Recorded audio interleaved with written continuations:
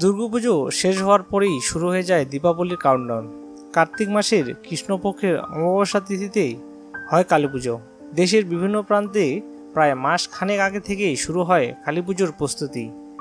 শ্যামা মায়ের আরাধনায় যাতে কোনো ত্রুটি না থাকে, তাই তার চেষ্টা চলে জোরদমে। সনাতন ধর্মের বিভিন্ন তিথিতে মা কালীর বিভিন্ন রূপে পূজা করা হয়। দেবীর আরাধনা সর্বজন বিদিত। মন্দিরে তো বটেই, এছাড়াও যাদের বাড়িতে কালী পুজো হয় তারাও বেশ কিছুদিন আগে থেকেই লেগে পড়েন কালী পুজোর কাজে। বাংলায় কালী পুজোকেই দীপাবলি বলা হয়ে থাকে। দেখে নিন দু হাজার বাইশ সালের কালী পুজোর দিনক্ষণ এবং শুভ সময়। দু হাজার বাইশ সালের কালী পুজো আগামী চব্বিশে অক্টোবর দুই হাজার বাইশ, সোমবার।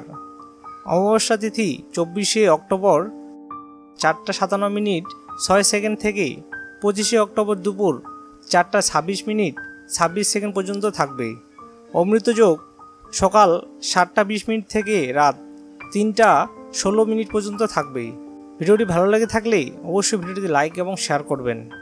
দেখা হবে পরবর্তী ভিডিওতে জয় মা কালী।